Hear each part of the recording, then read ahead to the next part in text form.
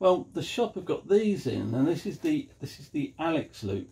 Now, what I've done here, just a little tiny test. I've actually set up on my U-bit. Um, I've actually got uh, a quite a large antenna outside, which is a a Hy-Gain DX88.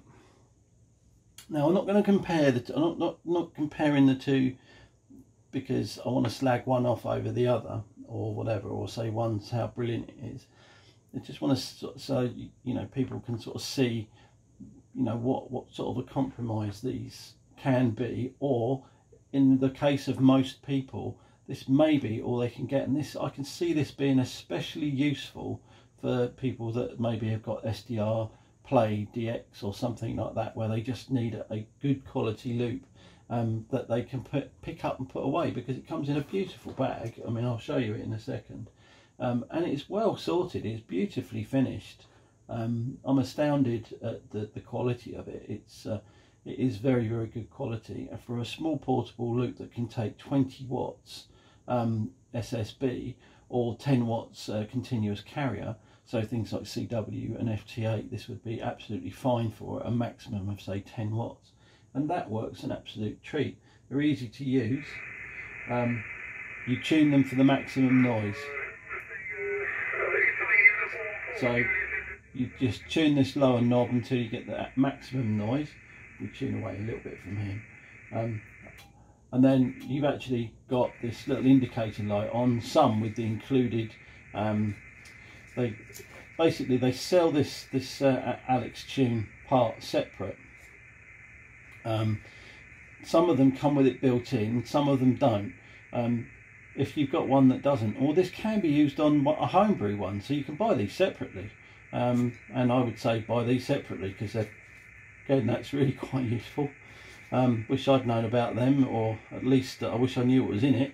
Um, I could uh, homebrew one myself, but um, yeah, but yeah, now I know they're in existence, I'll probably purchase one of those. It looks really, really decent. Um, these loops are not cheap, but there again, you'll get quite a lot for your money. I think, um, look at that, it's pretty posh, isn't it? Check that out. Um, yeah, I think they're brilliant. Um, I'm really impressed with this. Um, what was I going to do? I was going to show you something else. Um, little point to note, it's high voltage in, in there, so don't go taking covers off and transmitting it, holding it, that would be bad. A lot of current at the top, a lot of voltage down at this uh, the capacitor end. Um, yeah, I'm very impressed. So let's whiz down to something like CW. Um,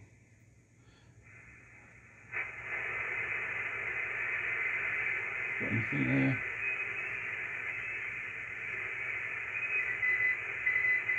Bit of CW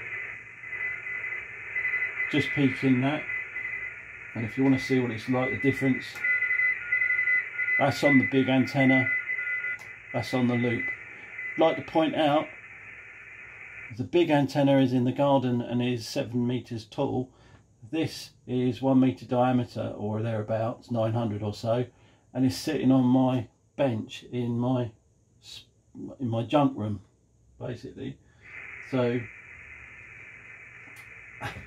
I'm really, I'm quite amazed with it. It's very, very good. Um, there's all your digital modes.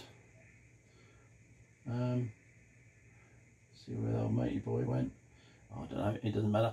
Anyway, um, really, I'm very impressed with that. That is a very, very good, uh, a good thing. And uh, the actual the loop comes apart very, very easily. Um, basically you, it comes with a ginormous um,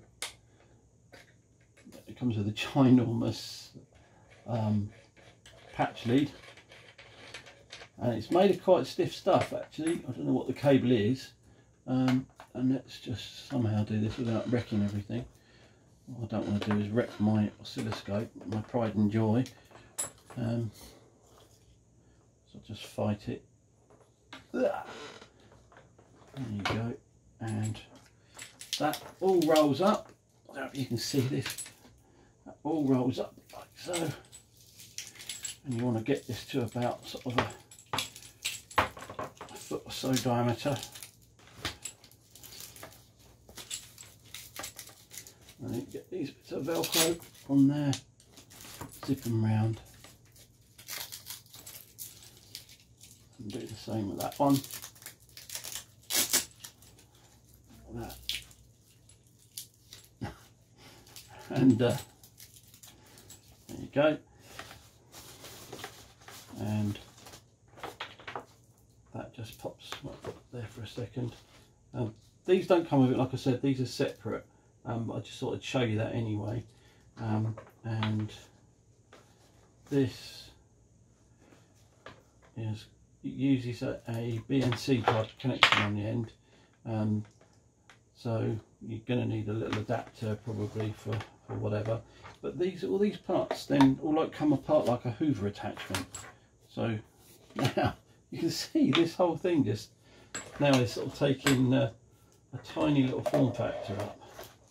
Um, and what we do is let's get this let's get this zoomed together.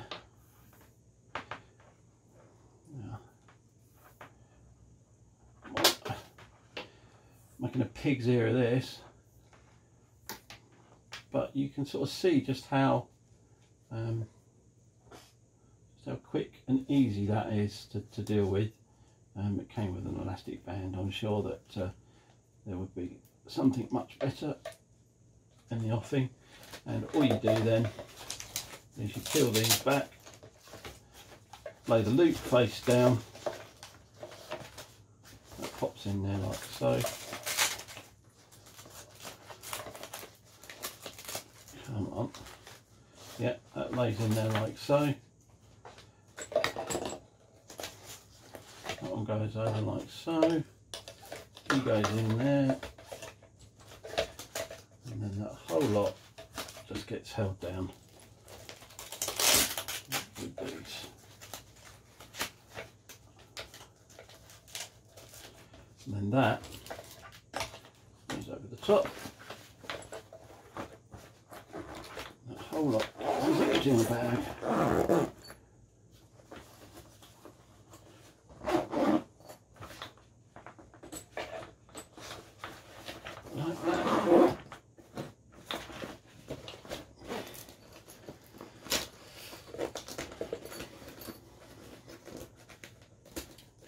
I'm really like the piece here, that. And that is a whole antenna. These are available in two versions, I think. These have got they've got built-in Alex tune and one that comes without. If you've got the one without, you can add this to it. If you've homebrewed one like I have there, then maybe you can use that on on that loop as well. They work very very well. Um, and like I say, there is um, there is a difference between you know a 600 pound antenna um, and one of these, um, or a 600 pound you know home base vertical. Um, but there again, if you're in a position where this is all you can use at home you know maybe you've got a small you know maybe you've got something like I've got here you maybe you've got like maybe you're you're going to have one of the 705s that's coming out in the future. This is a perfect antenna for it complete mobile kit.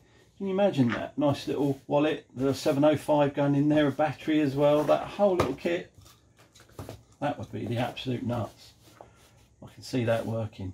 Now I am also going to look at um, this week. Hopefully I'll try and get some daylight. I need some outside time. I'm going to get the DX Commander up as well because it's kind of in a different league but again portable. This is portable with some compromises and the DX Commander is portable with no compromise. Um, it's a you know it's a beastie that is completely fold away and goes in a in a bag in the same way. Um, so just wanted to show you some little things and um, so I borrowed this from work um, on Saturday. They said I could uh, take it and have a little look at it. And I am very impressed with this. Um, can't remember what the price is on this but do check um, Martin Lynch and Sons for the for the price. I'll put a link in the description below so you can go and have a little look and if you do call into the shop just say that you know you saw the Gaz Labs video and uh, and uh, you, have you, uh, you've fallen in love with it, and uh, I'm sure they'll um, they'll get one out to you, especially fast. Um, right now then, that'll do, I think. Um, thanks for watching. Thanks for all the uh, good comments, and uh, keep them coming. Um, I will I will be doing some more stuff, as I say, in the future, some more homebrew. Um, I'm looking for kits and schematics and um, basically little homebrew project ideas. So if anyone's got any, um, please let me know in the comments below. Many thanks for watching. See you soon.